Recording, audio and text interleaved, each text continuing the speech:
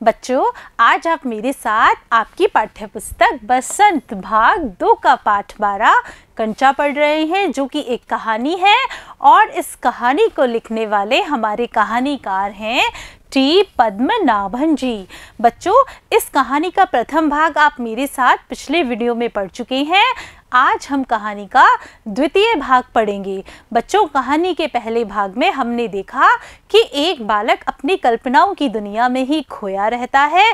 पहले वह सियार और कौवे की कहानी में खोया रहता है, फिर वह दुकान पर पहुँचता है। दुकान पर जाकर उसको कंचे का ध्यान आता है। कंचे की तरफ़ वह आकर्षित होता है और कंचों की दुनिया में खो जाता है।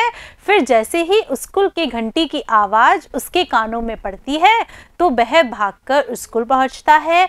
और स्कूल पहुँचता है तो वह स्कूल सबसे लेट पहुँचता है, देरी से पहुँचता है। इसके कारण उसे कक्षा में सबसे पीछे बैठना पड़ता है। बच्चों, यह हमने कहानी के पिछले भाग में पढ़ लिया था। अब हम कहानी के अगले भाग में उस बालक के बारे में पढ़ेंगे। देखेंगे, क्या वो बालक कंचे खरीदता है या नहीं खरीदता है और अपनी कल्पनाओं की दुनिया में किस तरह खोया रहता है। सब अपनी अपनी जगह पर हैं। रामन अगली बेंच पर है। वह रोज समय पर आता है। तीसरी बेंच के आखिर में मल्लिका के बाद अम्मू बैठी है। जॉर्ज दिखाई नहीं पड़ता। यानी ये जो हमारा बालक है अप्पू, वह कक्षा में आ गया है और कक्षा में आने के बाद उसे कक्षा में सबसे पीछे की बेंच पर बैठना पड़ता है और वह देखता है कि रामन अगली बेंच पर है। यानी रामन आगे की बेंच पे बैठा हुआ है। क्यों बैठा हुआ है? क्योंकि वह प्रतिदिन समय पर विद्यालय आता है। तीसरी बेंच के आखिर में मल्लिका के बाद अमू बैठी है। फिर उसे जॉर्ज का ध्यान आता है, लेकिन उसे जॉर्ज कहीं दिखाई नहीं देता। लड़कों के बीच जॉर्ज ही सबसे अच्छा कंचे का खिलाड़ी है। कितना भी बड़ा लड़का उसके साथ खेले, जार्ज से मात खाएगा। यानी कि जो जार्ज है, वो कंचे का इतना बड़ा खिलाड़ी है कि कोई भी बालक अगर उसके साथ खेलता है तो वह कंचों के खेल में हार जाता है। हारने पर यूँ ही विदा नहीं हो सकता। हारे हुए को अपनी बंद मुट्ठी ज़मीन पर रखनी होगी। तब जॉर्ज कंचा चलाकर बंद मुट्ठी के जोड़ों को ही तोड़ेगा। जॉर्ज क्यों नहीं आया? अरे हाँ जॉर्ज को बुखार है ना, उसे रामन ने यह सूचना दी थी। उसने मल्लिका को सब बताया था, जॉर्ज का घर रामन के घर के रास्ते में पड़ता है। अप्पू कक्षा की तरफ़ ध्यान नहीं दे रहा है। बच्चों, आप लोगों के साथ भी ऐसे ही होता होगा। आप लोग भी जब विद्यालय जाते होंगे तो आपके घर के आसपास रहने वाले बालक या बालिका आपको बुलाकर विद्यालय लेकर जाती होगी साथ साथ जाते होंगे।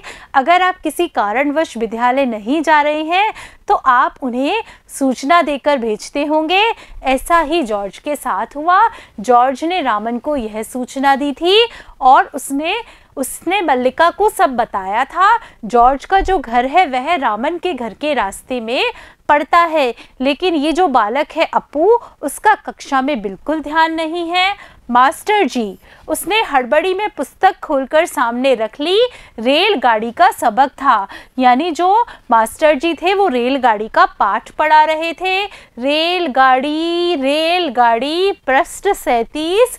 घर पर उसने यह पाठ पढ़ लिया है। यानी कि जो ये अप्पू है, वो घर पर ही यह पाठ पढ़कर आया है। मास्टर जी बीच बीच में बैत से मेज ठोकते हुए ऊँची आवाज़ में कह रहे थे बीच बीच में मास्टर जी क्या कह क्या कर रहे थे?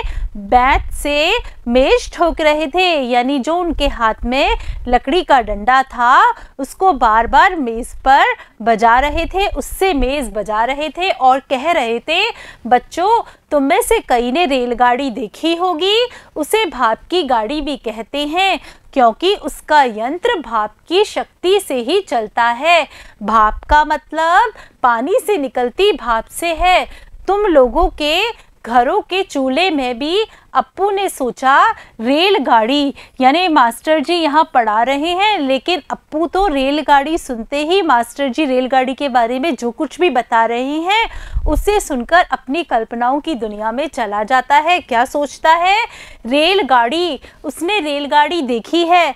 छुक छुक छुक, यही रेलगाड़ी है वह भाप की भी गाड़ी। का मतलब फिर वो सोचते जा रहा है, देखो क्या सोचता है। मास्टर जी की आवाज़ अब कम ऊँची थी। वे रेलगाड़ी के हर एक हिस्से के बारे में समझा रहे थे। क्या समझा रहे थे देखिए, पानी रखने के लिए खास जगह है। इसे अंग्रेज़ी में बॉयलर कहते हैं। यह लोहे का बड़ा पीपा है। बच्चों, देखिए, यहीं से हमारे अप्पू की कल्पना की दुनिया शुरू हो जाएगी। लोहे का एक बड़ा कांच का जार, उसमें हरी लकीर वाले सफ़ेद गोल कंचे, बड़े आंवले जैसे। जार्ज जब अच्छा होकर आ जाएगा, तब उससे कहेगा, उस समय जॉर्ज कितना खुश होगा। सिर्फ़ वे दोनों खेलेंगे और किसी को साथ खेलने नहीं देंगे। उसके चेहरे पर चौक का टुकड़ा आ गिरा। अनुभव के कारण वह उठकर खड़ा हो गया। मास्टर जी गुस्से में हैं। बच्चों, क्या होता है? रेलगाड़ी जब मास्टर जी समझा रहे होते हैं तो रेलगाड़ी सुनकर वह अपनी कल्पनाओं की दुनिया में चला जाता है और जब उसका ध्यान खुद के ऊपर ही होता है तो जो मास्टर जी हैं, वो पहचान जाते हैं कि अप्पू का ध्यान कक्षा में नहीं है। तो वो एक छोटा सा चौक का टुकड़ा उठाकर अप्पू के सिर पर मारते हैं और क्या होता है? अप्पू घबराकर अनुभव के कारण खड़ा हो जाता है, यानी उसे पता चल जाता है कि मास्टर जी ने देख लिया है कि उसका ध्यान कक्षा में नहीं है और वह क्या देखता है? मास्टर जी गुस्से में है। अरे, तू उधर क्या कर रहा है? उसका दम घुट रहा था। बोल, वह खामोश खड़ा रहा, यानी वह चुपचाप खड़ा रहा। क्या नहीं बोलेगा? वे अप्पू के पास पहुँचे। बच्चों, आपकी कक्षा में भी ऐसा ही होता होगा। जब आपके अध्यापक या अध्यापिका आपसे प्रश्न पूछते होंगे और आप उत्तर नहीं देते होंगे तो वो भी आपके पास इस तरह से ही आते होंगे और आपको डांटते होंगे। सारी कक्षा सांस रोके हुए उसी तरफ़ देख रही है। उसकी घबराहट बढ़ गई, यानी अप्पू है, वह घबरा गया। उसे डर लगा कि कहीं मास्टर जी पिटाई ना कर दें। मैं अभी किसके बारे में बता रहा था? कर्मठ मास्टर जी उस लड़के का चेहरा देखकर समझ गए, उसके मन में और कुछ है। यानी मास्टर जी ने जब उसका चेहरा देखा तो मास्टर जी पहचान गए कि यह कुछ और सोच रहा है। शायद उसने पाठ पर ध्यान दिया भी हो।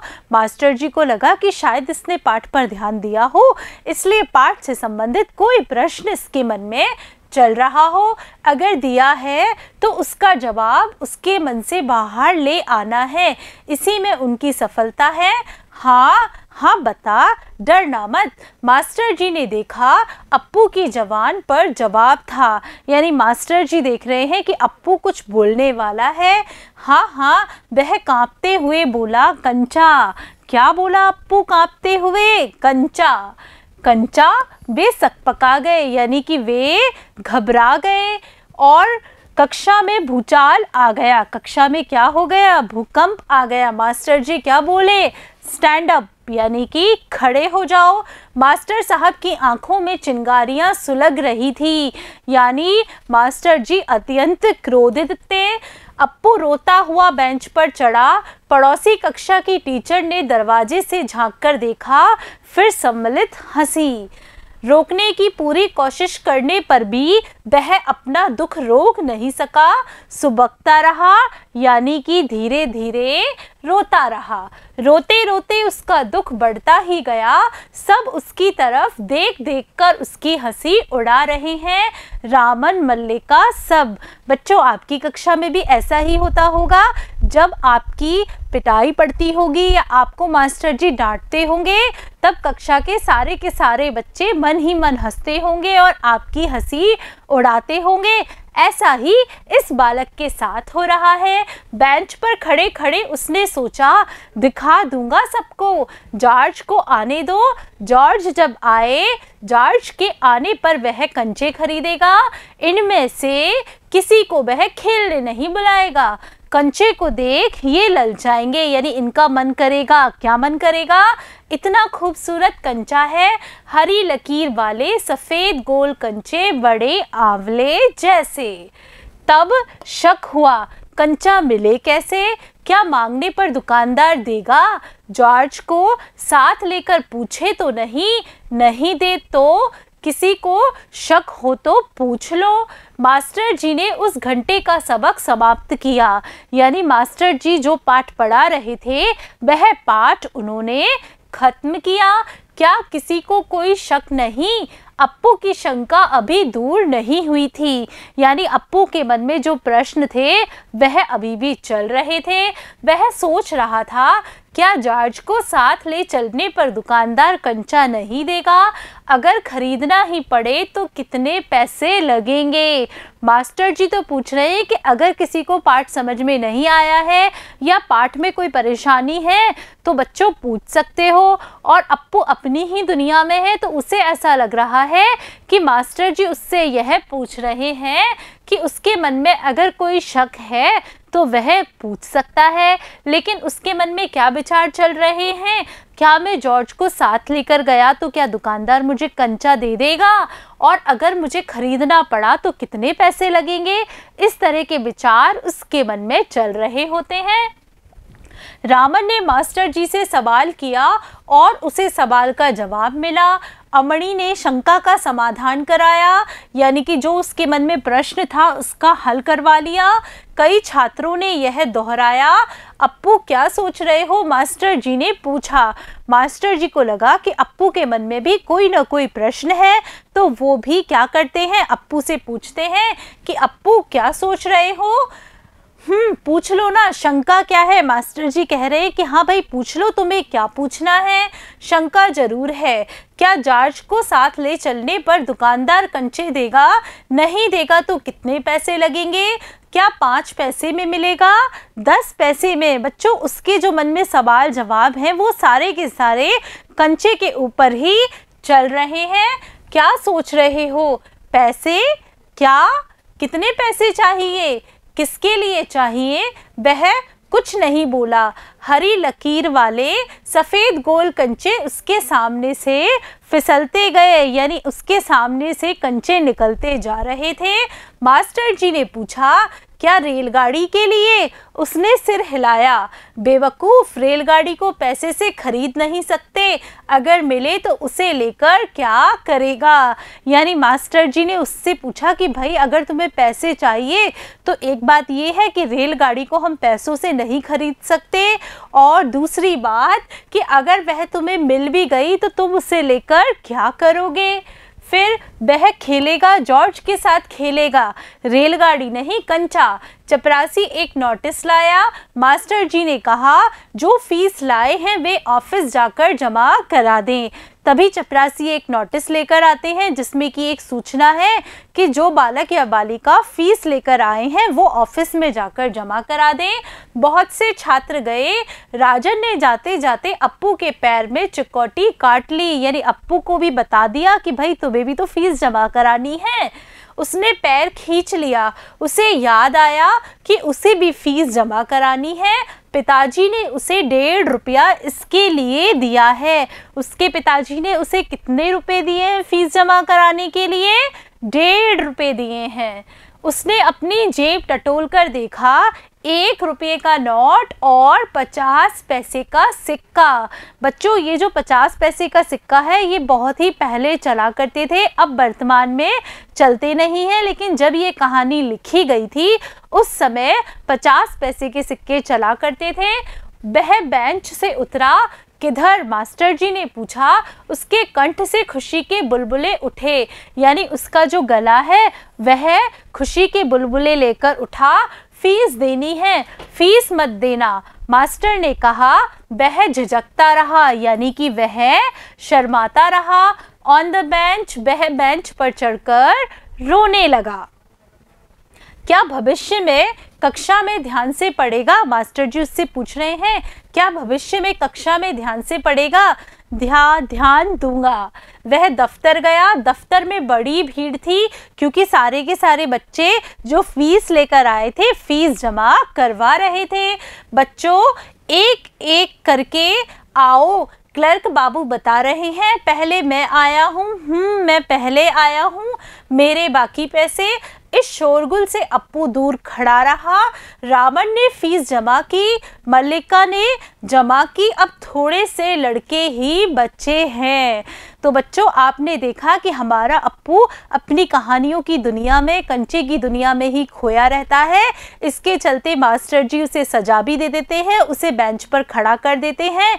लेकिन फिर भी उसके मन में कंचे को लेकर बहुत सारे सवाल चलते रहते हैं। क्या वो कंचे खरीद पाएगा? कितने पैसे लगेंगे? इस तरह के बहुत सारे प्रश्न उसके बाल मन में चलते रहते हैं। फिर जब फ़ीस जमा कराने की बारी आती है तो वह भी फ़ीस जमा कराने जाता है। सारे के सारे बच्चे अपनी फ़ीस जमा करा चुके होते हैं। तो बच्चों, आपको क्या लगता है, क्या अप्पू भी फ़ीस जमा करा पाएगा या उन पैसों का कुछ और करेगा? तो बच्चों, यह तो हम कहानी के अगले भाग में पढ़ेंगे। तब तक के लिए धन्यवाद बच्चों, नमस्कार बच्चों।